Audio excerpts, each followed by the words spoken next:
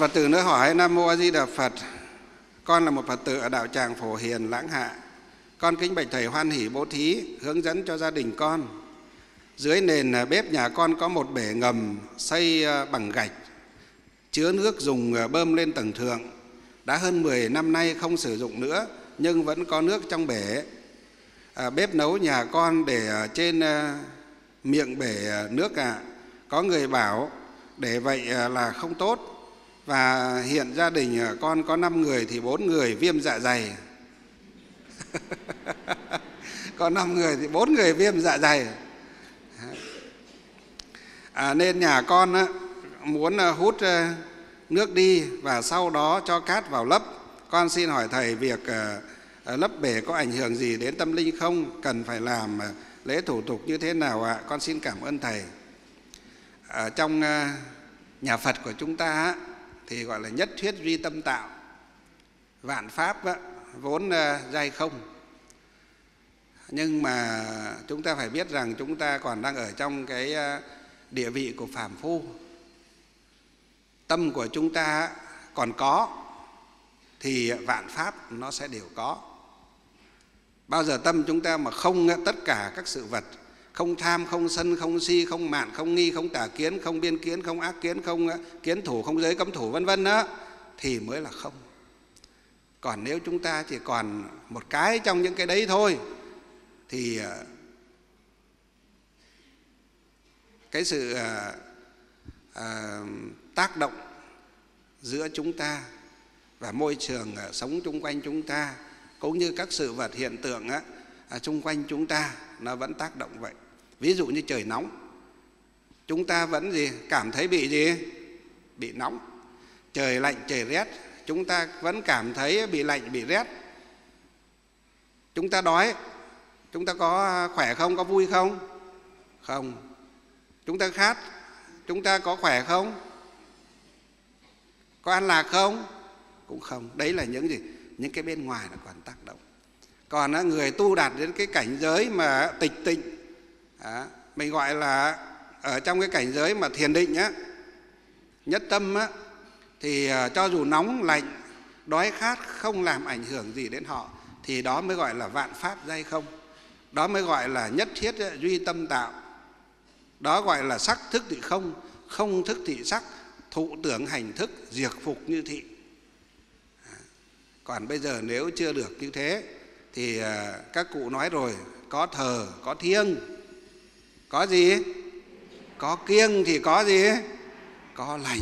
Đấy, mình chưa phải là phật bồ tát, thì à, đừng có nói đến gì cảnh giới của phật bồ tát nhiều quá. Mình còn là phàm phu thì gì hãy hướng dẫn cho gì cho những người phàm phu họ tu nhân tích đức, tin sâu nhân quả, bỏ ác làm lành, lấy giữ hành thiện. Đó đúng với cái câu các cụ nói, có thờ, có thiêng, có kiêng, có lành, cứ như thế mà tu.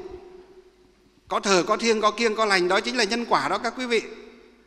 Đó chính là nhân quả. Có thờ thì có thiêng nhé có thờ thì có thiêng. Mà có kiêng thì có lành. Ví dụ chúng ta kiêng làm ác, thì sẽ được phúc gì? Phúc lành. Thế thôi. Một câu nói của các cụ ngày xưa tưởng chừng như rất đơn giản nhưng đầy cái tính triết lý, khoa học và logic ở trong đó các quý vị ạ. Đấy. Nói về triết học thì à, logic. Nói về khoa học thì à, có đầy đủ tính biện chứng ở trong đó. Nói về tâm linh thì chúng ta thấy không? Nhân quả ở trong đó. Đấy, một câu nói của các cụ, của cha ông chúng ta ngày xưa truyền tai nhau, đời trước dạy cho đời sau, đời đời truyền nhau, chúng ta thấy đến bây giờ vẫn không có lạc hậu cho nên ở đây trường hợp này thầy khuyên là gì? Về phong thủy, nó có tồn tại không? Có tồn tại mà. Phong thủy có tồn tại. Khẳng định với chúng ta như thế. Ví dụ chúng ta cất cái nhà giữa sông nước chảy xiết. Mùa khô thì được nhưng mùa mưa thì có bền vững không các quý vị? Có an tâm để duỗi chân thẳng để nằm ngủ không các quý vị? Có không? Cho dù xây có chắc đến đâu nhưng mà mưa nhỏ thì được lũ lớn thì có chắc không? Xây chắc đến đâu như cái thành trì đổ bê tông nó còn cuốn đi.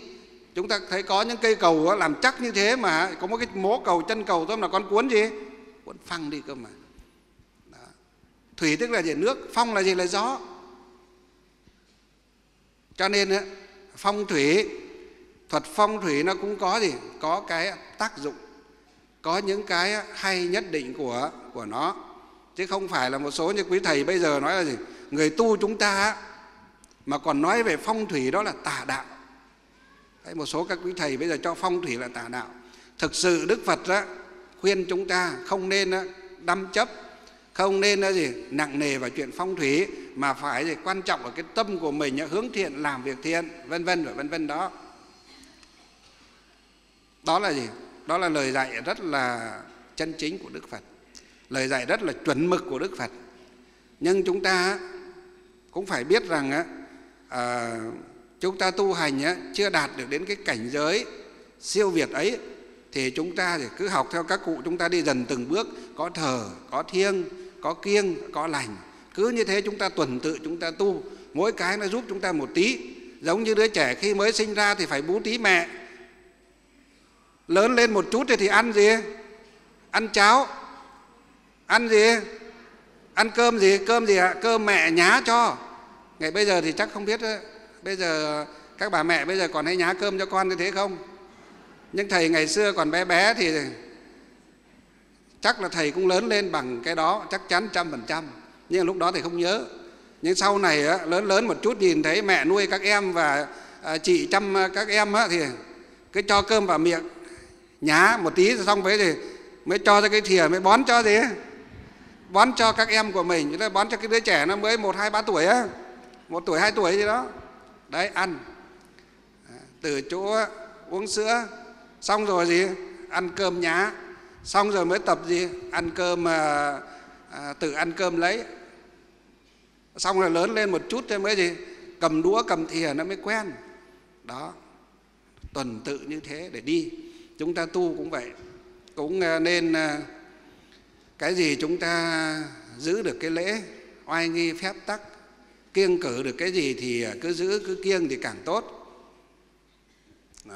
nhà cửa, đất cát. Về phong thủy nó không phải là phật giáo của chúng ta, nhưng nó xuất phát từ một cái tôn giáo, đó là đạo lão.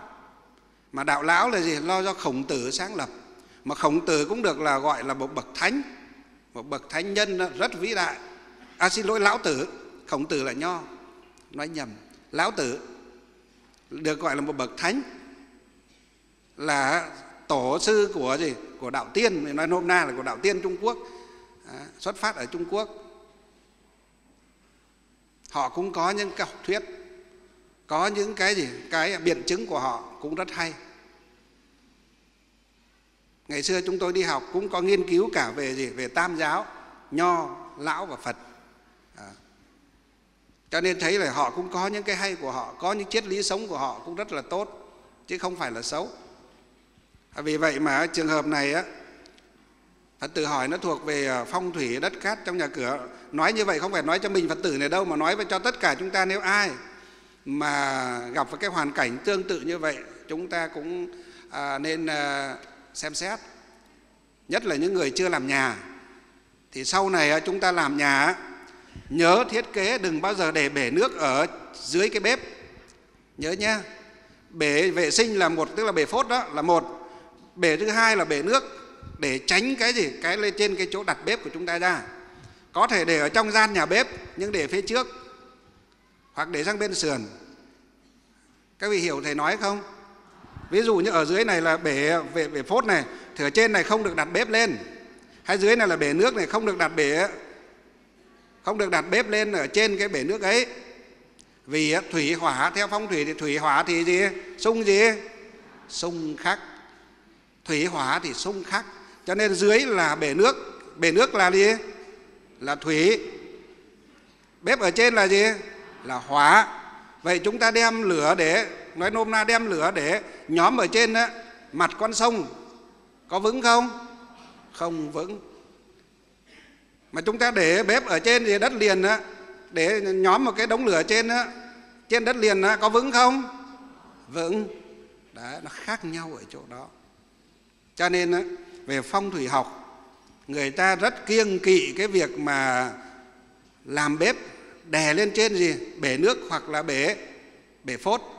Đấy cho nên thầy nói về cái này để chúng ta biết ngày xưa thì các thầy đi học cũng có học qua cái này cũng học đấy ngày xưa thậm chí là học nhiều là đằng khác. Mà thậm chí có thể nói là gì? Cũng có thể ờ, chỉ cần nói ra một cái bấm bấm bấm bấm một cái là biết được ngay. Nhưng bây giờ thì bỏ rồi. Bây giờ gọi là gác kiếm rồi. À, nhưng mà vẫn gì? Vẫn ờ, nói để cho chúng ta biết. Để cho chúng ta à, tránh được cái gì thì tránh. Như quan điểm của thầy thì có thờ có thiêng có kiêng có lành. Đó không phải ngẫu nhiên mà nó tồn tại mấy nghìn năm nay mà nó gì? Nó vẫn ờ, song hành cùng đời sống của con người chúng ta đâu. Đấy. Ngày xưa thầy về cái chùa khai nguyên này thế, cái hướng chùa cổ là nhìn hướng đông đông nam, là nhìn xuống cái sòng ấy. Mà nghe các cụ về đây, nghe các cụ nói ngày xưa là có một ông thầy tàu.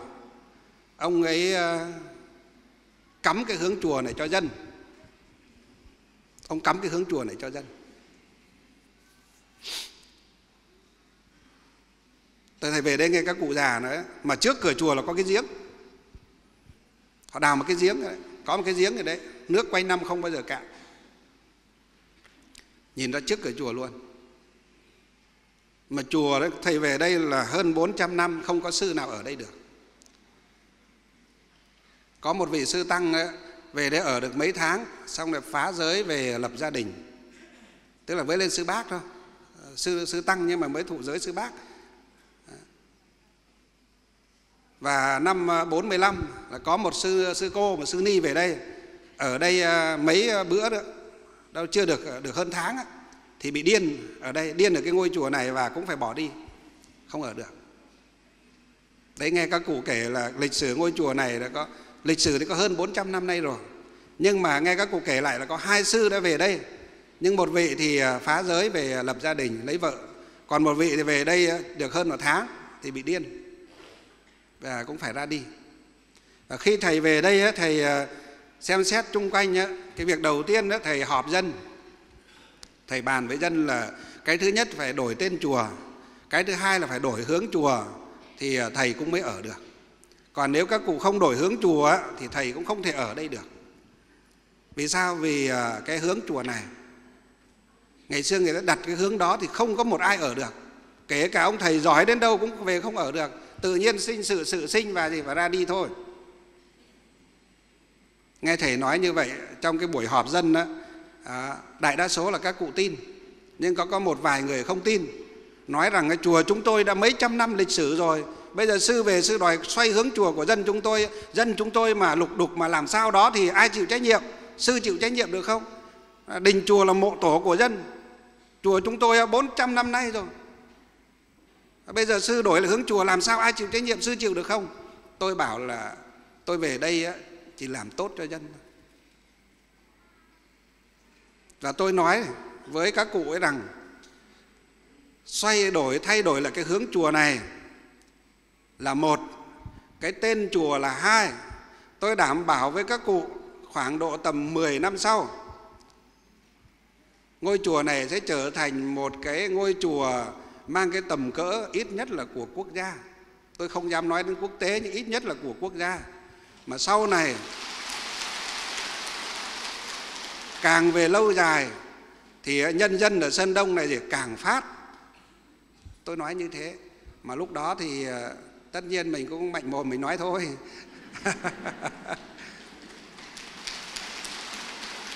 Tất nhiên cũng phải có căn cứ. Thì vì sao? Mình mà nói bừa mà sau này 10 năm sau mà nó không phát được người ta đập mình chết. Thật mà. Nói mà không phát được người ta đập mình chết. Dân mà sau này không phát họ cũng chửi mình chết. Thay đổi là hướng chùa.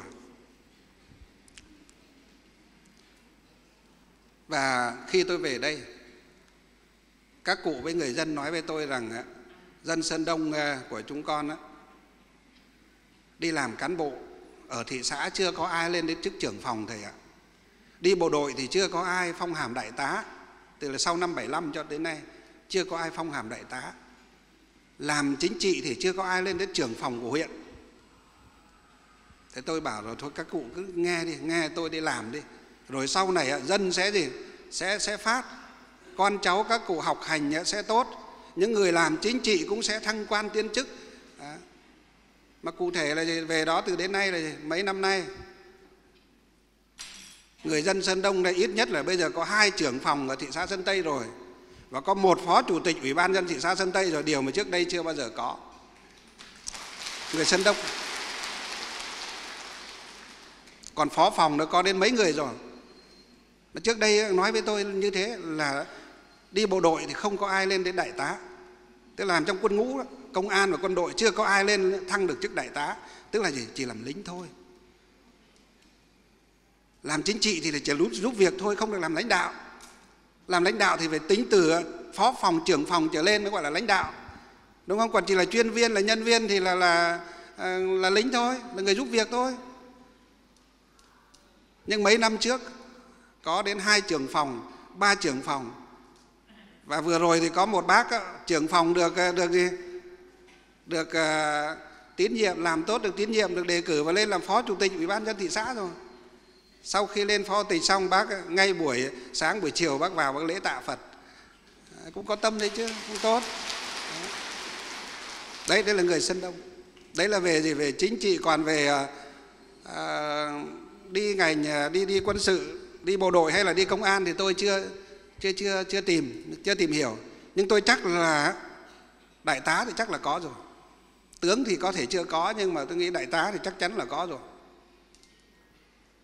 Đấy tôi dám hứa với các cụ là trong cái cuộc họp đấy có hai giới các cụ có cả ủy ban nhân dân mặt trận tổ quốc hội người cao tuổi của xã sang dự ở tại cái cái cái uh, tam bảo của chùa à, khai nguyên ngày xưa họp ở đấy. Đấy có các cụ già như là cụ lượng hay là cụ chuột ngày xưa được uh, dự trong cái cuộc họp đấy thì biết ngày xưa bà khang bà thanh chưa được đâu chưa có tuổi chưa được sang chùa chưa đủ tuổi sang chùa vì ngày xưa các cụ là cứ phải 60 tuổi trở lên mới được sang chùa trong cái cuộc họp đấy. Còn mấy cụ ông thì ờ, mấy cụ đã mất rồi còn mấy cụ bây giờ già không sang đây được nữa. Có cụ úc cụ việt cụ tành mấy cụ đấy được tham dự những cái cuộc họp đầu tiên. Hỏi các cụ xem đúng như thế. Tôi bảo xoay lại à, hướng chùa thì sau này á, chùa cũng sẽ phát mà dân cũng sẽ phát. Thì sau khi mới xoay lại hướng chùa được khoảng mà động thổ chùa xoay móng lại được đâu rồi năm hay sao ấy thì cái năm đó tôi vẫn đang học ở học viện. Nghe mấy cụ bảo thầy về ngay. Dân làng bây giờ đang đồn ầm lên tại thầy à, à, xây chùa cho nên vừa qua là mấy em nhỏ đi tắm là chết đuối ở trong sông. Đổ cho thầy à, bỏ thầy về ngay. Dân đang đồn ầm lên rồi chết một lúc đâu ba bốn em ấy. Tại thầy à, xây à, xoay lại hướng chùa. Mình cũng hãi. Cũng hãi chứ. Việc của dân mà việc của dân của làng người ta nói như thế bây giờ mình giải thích kiểu gì? Năm trước mình à, hứa với dân là xoay thay lại thì dân tình sẽ tốt mọi cái sẽ tốt. Nghe các cụ nói như thế mình cũng phải về học xong một cái tức tốc từ quan xứ về đây. Về đây thì à, mình xem xét lại hết cái vấn đề tâm linh ở trong chùa không sao. Chùa mình vẫn bình thường, vẫn tốt. Mọi cái về phong thủy, về à, tâm linh vẫn tốt, không ảnh hưởng gì. Thế tôi muốn nói cái việc đấy không liên quan gì đến chùa các cụ ạ. Mà cái việc đó, tôi nói luôn là nó liên quan tới cái việc đào bới gì đó ở trong gì? Ở trong dân. Chùa thì chưa đào bới gì, mới xoay lại hướng chùa thôi đào cái móng lại hướng chùa từ đầu năm rồi cho đến bây giờ là đến mùa hè các cháu nó mới như vậy. Mà trong làng cái năm đó là cũng gì? Cũng nhiều người mất. Đặc biệt là cái xóm ờ, ở trên ờ, đền măng ấy, nhiều người mất. Thế là tôi bảo các cụ các cụ phải kiểm tra lại xem ở trong dân vừa qua có đào bới chỗ nào không? Thế các cụ bảo ở trong dân chúng tôi thì cũng có nhiều nơi đào bới nhưng mà tôi không đào bới chỗ nào gần cái chỗ thờ phụng của dân đấy. Ví dụ như đền, chùa, miếu, mạo, các cụ phải kiểm tra đi, có đào đâu không? Thế các cụ ờ, nghĩ một tí, các cụ bảo à vừa qua là xã múc kìa, cho múc cái đền măng để làm cái sân bóng, sân vận động của dân. Múc cái đền măng sơn đó. thế tôi bảo nếu, nhưng việc, nếu mà việc mà gì do tôi thay đổi hướng chùa mà à, xảy ra cái chuyện tâm linh đó cho dân đó thì tôi là người gánh trách nhiệm. Nhưng còn nếu mà không phải tôi mà phải là một chỗ khác một người chỗ nào đó mà làm cái chuyện đó thì không phải là tôi mà là cái chỗ khác. Cái việc đó thì tự nó sẽ gì? Tự nó cũng sẽ có cái sự à, à, cái cái à, gọi là cái à, sự tác động đến những cái người làm trực tiếp đấy. Y rằng mấy tháng sau dân tình, họ kiện cáo cứ ầm mỹ cả lên. Cuối cùng là ông thị xã, ông chủ tịch xã ở đây là mất chức. Nói nhỏ thôi nhá. Không, nói nhỏ có nghĩa là nói xong ở đây là thôi, bỏ đi. Đây đây là tôi nói gì? Không biết là ông ấy mất chức vì cái gì, tôi không biết. Nhưng mà ông ấy là người ký giấy để cho đào đất toàn bộ cái sân bên cạnh cái đền Măng Sơn, mà đền Măng Sơn là cái đền rất linh thiêng ở sân Đông này. Là một trong gì? Gọi là, cái gọi là Nam cung điện của Đức Thánh Tản Nam cung điện thờ Đức Thánh Tản mà ngày đó đào xong cái dân ở trên cái xóm đấy lục đục và mất rất nhiều. Mà trong một thời gian sau thì bác ấy bị dân họ kiện cáo cái linh đình cả lên thì bác ấy chuyển đi chỗ khác và không được làm chủ tịch ở đây nữa. Còn tôi thì vẫn gì? Vẫn ngồi đây cho đến ngày hôm nay. Tức là không phải gì? Không phải việc do tôi thay đổi cái hướng chùa mà à, xảy ra cái chuyện mà chết đuối cho các cháu trong dân cũng như là chết chóc trong dân. Thế xong cái đợt đó một cái thì à, các bác nhờ thầy lên làm lễ ở trên đền măng nhờ thầy lên làm lễ để gọi là à, thôi việc đào thì đã đào xong rồi mà bây giờ dần dân cũng rất cần cái sân vận động và cái hội trường. Để nhờ thầy lên làm lễ ở đó để à, gọi là để liền hoàn long mạch cho thế lên lễ xong dần dần nó cũng yên dần yên dần. Đấy là về gì? Về tâm linh về phong thủy. Hôm nay cũng nói thêm để cho chúng ta gì? Biết được rằng trong cuộc sống bên cạnh chúng ta này chúng ta chưa phải là bồ tát là la hán là phật thì ờ, tất cả những cái sự tác động ở bên ngoài nó vẫn gì? Vẫn à, ảnh hưởng tới chúng ta nhiều lắm. Chúng ta cứ kiêng được thì càng tốt cho nên từ giờ trở đi các phật tử chúng ta có thiết kế nhà cửa. Ai chưa xây thì lưu ý cho thầy là đừng có bao giờ để à, bếp à, ở trên bể nước và ở trên bể à, bể phốt. Tránh nó ra đằng trước. Đặc biệt là cái bể phốt á nếu có làm á thì cũng để tránh nó ra ở trước mặt cửa bếp của mình. Tốt nhất là để vào trong à, đằng sau ấy hoặc để tránh cái cửa bếp ra để sang bên sườn tránh cửa bếp ra. Nếu phải để bể phốt thì ở nhà Hà Nội bây giờ chúng ta kể cả ở quê bây giờ nhà nào xây bể phốt. Ở quê thì có đất họ xây ra ngoài nhưng ở Hà Nội thì có đâu đất mà xây ra ngoài. Bắt buộc phải để vào trong. Mình cũng tránh cái nơi thờ gian thờ nhà mình đi. Kể cả mình thờ trên tầng thượng nhưng cũng tránh ở dưới đi. Thiết kế tránh được là tốt nhất. Tránh gian thờ là một. Tránh uh, bếp là hai. Và tránh cái giường ngủ của chủ nhà là ba. Đấy, tránh lấy mấy cái đó đấy thì ờ, cũng nói thêm này đặc biệt là bể phốt tránh còn bể nước thì có thể à, vẫn tạm được nhưng cái bếp thì lại tránh về thủy hỏa là xung khắc. À, về âm dương thủy hỏa về phong thủy thì nó khắc phải tránh đi. Trường hợp này thì à, bây giờ hút cạn nước đi. Thầy khuyên trường hợp như thế này hút cạn nước đi xong thì nếu nếu vẫn còn muốn để bể thì mình xây nhỏ nó lại cắt khỏi cái đoạn bếp đi thôi. Tức là ngăn nhỏ nó nếu cần thiết vẫn phải dùng nước thì cắt nhỏ nó lại và à, đổ cát ra đi xây à, nhỏ nó vào. Nghĩa là ở trên cái bếp đun đấy mình không à, à để bể ở nước ở dưới là được thu hẹp nó lại một chút thế được. Cái trường hợp này có thể dùng chung cho tất cả các phật tử chúng ta nếu mà chúng ta còn lăn tăn cái đó hoặc có trường hợp như vậy thì chúng ta sửa lại thì tốt. Vì trong phong thủy học á nó phân ra thế này cái hướng ban thờ á nó chủ trì về cái sự à, hưng vượng cho một ờ, gia đình thậm chí là một dòng họ. Còn cái bếp á nó là chủ về con cái và sức khỏe. Đấy, nhớ nhé phong thủy á, cái bếp nó làm chủ về con cái và chủ về sức khỏe. Nếu cái bếp ấy mà sai đặt sai vị trí hoặc sai với mệnh của người chủ nhà thì quan niệm của phong thủy ấy, thì à, thường là nhà hay có người ốm đau bệnh tật cứ triển miên hết người này đến người khác.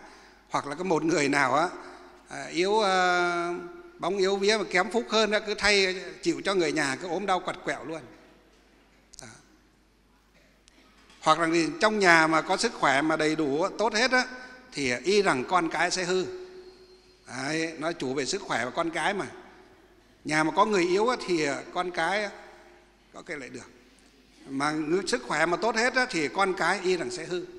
Đấy đấy là nó chiếm đến tám chín mươi phần trăm như vậy không phải một trăm phần trăm đâu bởi vì nó là cái pháp của thế gian mà như thế đó cũng là nhiều lắm rồi. Cho nên cái bếp là cái thứ hai sau ban thờ mà chúng ta phải gì? Phải à, quan tâm. Và cái thứ ba là chủ về sức khỏe của cá nhân là cái đầu giường ngủ. Chúng ta nên chọn hợp với cái mệnh của mình. Ví dụ như sinh năm à, 80 là con trai chẳng hạn. Cách tính của phong thủy nó khác với cách tính của uh, của của tử vi nhé các vị nhé mệnh phong thủy khác với mệnh tử vi. Mệnh tử vi là để xem ngày xem giờ xem vận xem hạn. À, còn mệnh phong thủy ấy, là để gì? Để xem về đất cát xem về gia trạch thì chúng ta phải xem về phong thủy. Ví dụ sinh năm 80 là nam. Thì công thức tính của phong thủy à, 100 trừ đi 80 còn 20 à, thì nhân với 9 thì 29 18 còn dư 2 dư 2 thì một khảm hai khôn. Khôn thì thuộc về gì? Mệnh thổ mệnh thổ người này thì hợp với ờ, thuộc về tây tứ trạch. Tây tứ trạch thì ờ, đầu giường ngủ sẽ hợp về hướng tây là một tây nam là hai tây bắc là ba và đông bắc là bốn. À, ví dụ thế. Còn người là nữ ờ, thì có thể cộng 5 hoặc trừ 4 à, sinh năm 80 thì gì? Trừ 4 thì còn bảy mấy? 76 đúng không? Còn 76 thì à, nhân với 9 98 bao nhiêu? Bảy mấy? 72 đúng không? 72 thì còn à, 76 thì 72 còn dư mấy? Dư 4 đúng không? Một khảm hai khôn ba chấn bốn tốn. À, bốn thì thuộc về tốn người này thuộc mệnh mộc tốn thuộc mệnh mộc. Mệnh mộc thì thuộc đông tứ trạch đông tứ trạch thì hợp hướng đông đông nam chính nam và chính bắc. À, thì đấy như thế.